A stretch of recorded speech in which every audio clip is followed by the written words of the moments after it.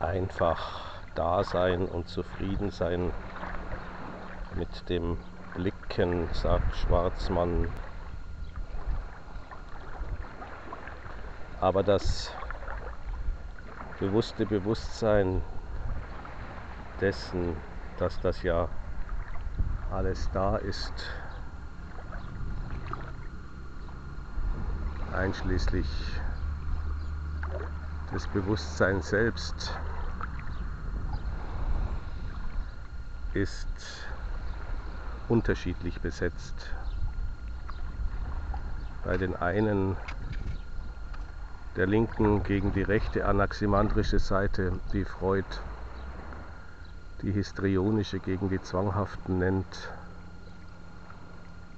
wird alles nur besetzbar, was von Ausfuhr und bei den anderen was von Einfuhr zeugt. Sprich,